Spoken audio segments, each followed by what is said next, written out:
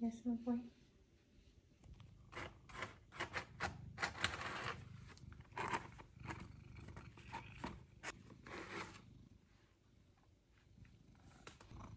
Hmm. Wait. Hello, Luna. Ready for a treat?